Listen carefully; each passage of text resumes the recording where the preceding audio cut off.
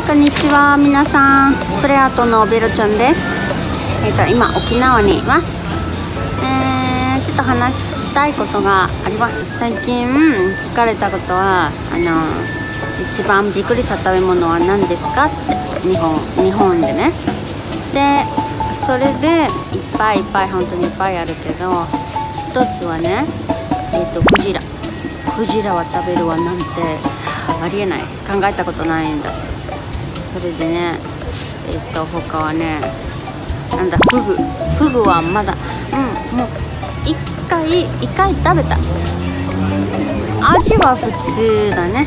あと他は馬。馬はもう食べるなんてすごいことだよ。信じられない。